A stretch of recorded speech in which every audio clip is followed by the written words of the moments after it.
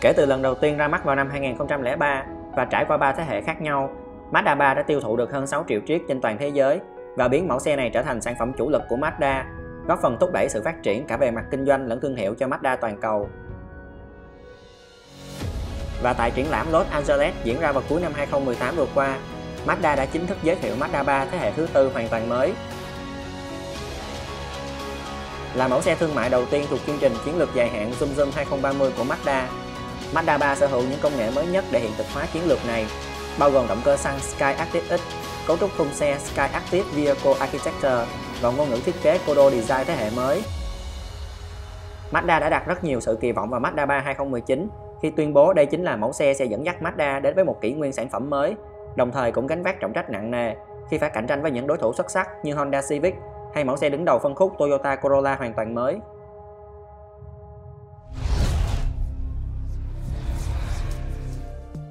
Được giới thiệu lần đầu tiên vào năm 2010 cùng với sự ra mắt của hai mẫu xe CX-5 và Mazda 6, ngôn ngữ thiết kế Kodo Design, linh hồn của sự chuyển động đã trở thành yếu tố đặc trưng giúp nhận dạng thương hiệu cho các mẫu xe của Mazda. Không dừng lại ở đó, Mazda đã tiếp tục cải tiến và phát triển ngôn ngữ thiết kế Kodo Design thế hệ mới, thanh lịch và sang trọng hơn, vốn được lấy cảm hứng từ tính thẩm mỹ của con người Nhật Bản. Và Mazda 3 2019 chính là mẫu xe đầu tiên sở hữu ngôn ngữ thiết kế mới này. So với thế hệ cũ, phong cách thiết kế trên Mazda 3 2019 đề cao và hướng đến sự tối giản.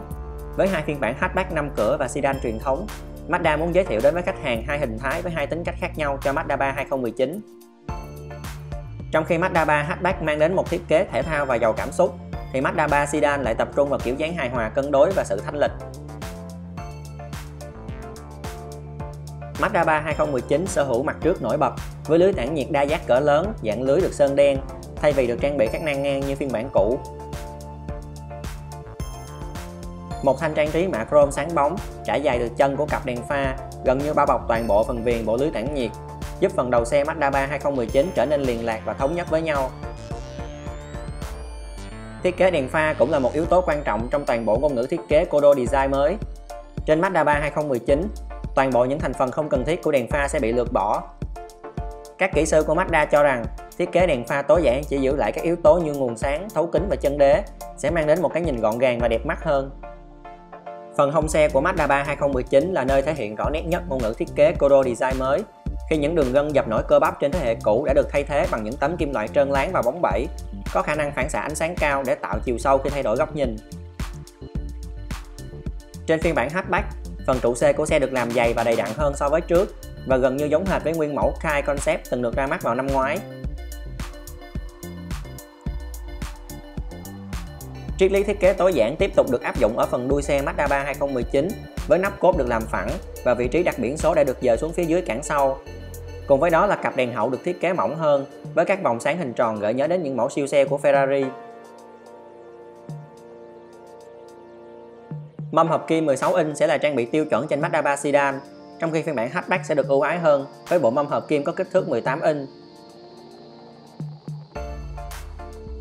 Về kích thước, Mazda 3 2019 có sự gia tăng đáng kể về chiều dài so với thế hệ cũ. Ở phiên bản sedan, xe sở hữu chiều dài tổng thể 4.662mm và chiều dài cơ sở đạt mức 2.725mm, dài hơn lần lượt 82 và 25mm so với người tiền nhiệm. Trong khi các số đo về chiều rộng là 1.797mm và chiều cao là 1.445mm không có quá nhiều sự khác biệt. Đối với phiên bản hatchback, Xe sở hữu các số đo về chiều dài, chiều rộng và chiều cao lần lượt là 4459, 1797 và 1440mm, cùng chiều dài trục cơ sở tương đương với bản sedan. Công nghệ Sky Active Vehicle Architecture hoàn toàn mới trên Mazda 3 2019 sở hữu những cải tiến về cấu trúc thiết kế và cả vật liệu, giúp khung xe trở nên vững chắc hơn. Các thành phần kết nối từ trước ra sau kết hợp với các kết nối ngang và dọc sẵn có giúp khung xe Mazda 3 mới có khả năng chịu lực tốt hơn đến từ mọi hướng. Tỷ lệ thép cường độ cao với độ cứng trên 980 MPa cũng được gia tăng đáng kể, từ 3% trên thế hệ cũ lên đến 30% trên thế hệ mới. Cùng với đó là sự bổ sung thêm của thép dập nguội siêu cứng với độ cứng lên đến 1310 MPa được trang bị cho trụ A và khung máy, giúp hạn chế tối đa khả năng biến dạng của khung xe khi xảy ra va chạm, đảm bảo an toàn cho người lái và hành khách ngồi bên trong. Không gian nội thất của Mazda 3 2019 hoàn toàn lột xác khi so với thế hệ cũ, với triết lý thiết kế human-centric, lấy con người làm trung tâm và tối giản tất cả những chi tiết thừa trong khoang lái. Toàn bộ bề mặt táp lô trên Mazda 3 được thiết kế đối xứng theo phương ngang, với các cửa gió điều hòa được bố trí trên cùng một đường thẳng và được thiết kế ẩn đi, tạo sự thoáng đãng cho người lái và hành khách ngồi phía trước. Vô lăng đa chức năng trên Mazda 3 mới cũng được thiết kế lại để tạo được tầm quan sát tốt hơn dành cho người lái khi theo dõi cụm đồng hồ là một màn hình LCD rộng 7 inch ngay phía sau. Trung tâm của bảng điều khiển là một màn hình thông tin giải trí rộng 8,8 inch được bố trí nhô lên cao và hướng về phía người lái. Màn hình trên sẽ được điều khiển thông qua một núm xoay Commander ngay tại bệ trung tâm, thay vì có thể thao tác cảm ứng như thế hệ trước. Mazda cho rằng cách điều khiển mới này giúp người lái có thể tập trung hơn vào nhiệm vụ lái xe và người lái không cần phải thay đổi tư thế ngồi để thao tác với màn hình cảm ứng như trước đây.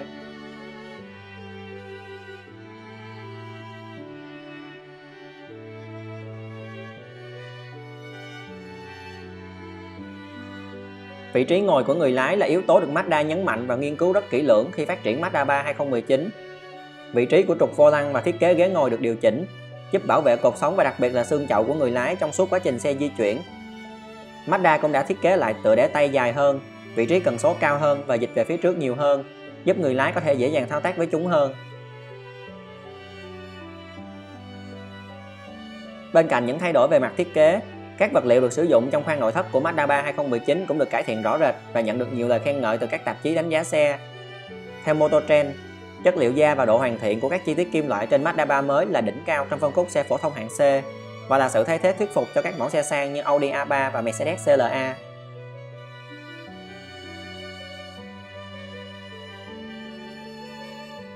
Mazda 3 Sedan 2019 tại Mỹ sẽ được chia làm 4 gói trang bị khác nhau, bao gồm tiêu chuẩn, Select, Prefer và Premium.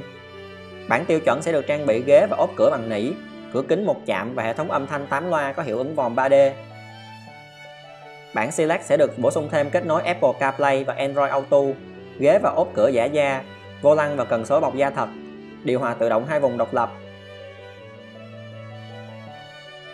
Cao cấp hơn là bản Reefer sẽ được trang bị thêm hệ thống 12 la Bose cao cấp, ghế lái chỉnh điện 8 hướng, nhớ hai vị trí ghế và tính năng sưởi. Cuối cùng là bản Premium với ghế bọc da thật, cửa sổ trời chỉnh điện, hệ thống đèn trước sau full LED và lấy chuyển số sau vô lăng. Trong khi đó, phiên bản hatchback sẽ không có gói Select và những trang bị tiêu chuẩn trên bản hatchback sẽ tương đương với gói Select của phiên bản sedan. Về các trang thiết bị an toàn, Mazda 3 mới sở hữu tùy chọn gói iActive Sense với hệ thống Driver Monitoring. Hệ thống trên sẽ sử dụng camera hồng ngoại để theo dõi người điều khiển xe, bao gồm chuyển động mắt, tần suất chớp mắt và tần suất ngáp, từ đó xác định được mức độ mệt mỏi hoặc buồn ngủ của người lái. Nếu hệ thống phát hiện ra tình huống trở nên nguy hiểm, nó sẽ phát đi âm thanh cảnh báo người lái và kết hợp với hệ thống phanh thông minh SPS. Một tính năng đáng chú ý khác trên Mazda 3 2019 đó là hỗ trợ hành trình Cruising and Traffic Support CTS. Hệ thống này góp phần làm giảm sự mệt mỏi của người lái thông qua việc can thiệp vào bàn đạp ga, phanh và tay lái trong điều kiện giao thông đông đúc trên xa lộ. Cuối cùng là sự xuất hiện của túi khí đầu gối dành cho người lái, giúp hạn chế tối đa thương tật xảy ra đối với chân của người lái khi xảy ra tai nạn. Đây là trang bị tiêu chuẩn trên Mazda 3 2019 cho tất cả các thị trường trên thế giới. Về khả năng vận hành, Mazda 3 mới cung cấp cho các khách hàng nhiều sự lựa chọn khác nhau về động cơ, bao gồm các động cơ xăng Sky Active G thế hệ mới nhất với dung tích 1.5, 2.0 và 2.5 lít. Mazda chưa công bố cụ thể thông số kỹ thuật của các động cơ trên, ngoại trừ động cơ Skyactiv G 2.5 sẽ sản sinh công suất cực đại 186 mã lực tại 6.000 vòng một phút và mô men xoắn cực đại 252 Nm đạt được tại 4.000 vòng một phút, tương đương với động cơ đang được trang bị trên Mazda 3 thế hệ cũ và Mazda CX-5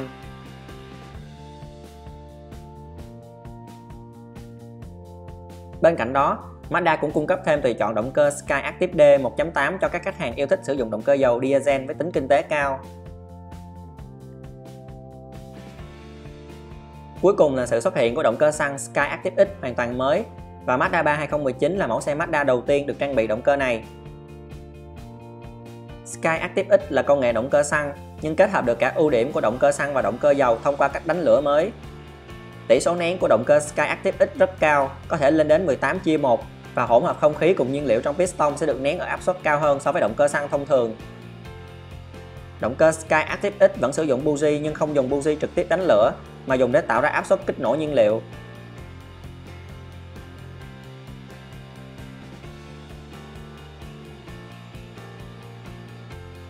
Ưu điểm của công nghệ này đó là giúp nhiên liệu được đốt cháy triệt để hơn, mô men xoắn được sản sinh ra nhiều hơn và tiết kiệm nhiên liệu hơn từ 20 đến 30% so với động cơ xăng truyền thống, đồng thời không gây ô nhiễm môi trường nhiều như động cơ diesel.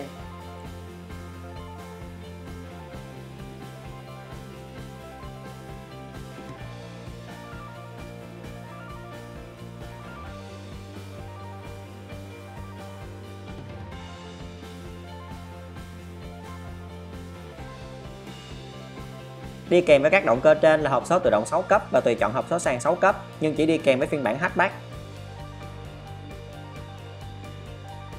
Bên cạnh hệ dẫn động cầu trước tiêu chuẩn như thường lệ, Mazda mang đến cho các khách hàng một nâng cấp vô cùng đáng giá khi trang bị hệ dẫn động 4 bánh iActive như một tùy chọn trên Mazda 3 2019.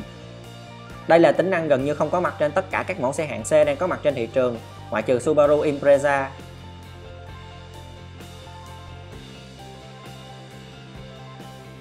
Đi kèm với hệ dẫn động 4 bánh iActive là công nghệ kiểm soát lực kéo G Vectoring Control Plus,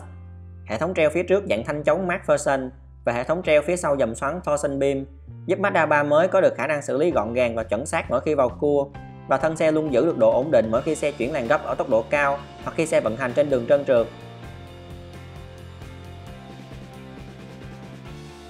Mazda 3 2019 sẽ bắt đầu được mở bán tại thị trường Mỹ từ tháng 3 năm nay với mức giá khởi điểm từ 21.000 đô la cho phiên bản sedan tương đương với 489 triệu Việt Nam đồng.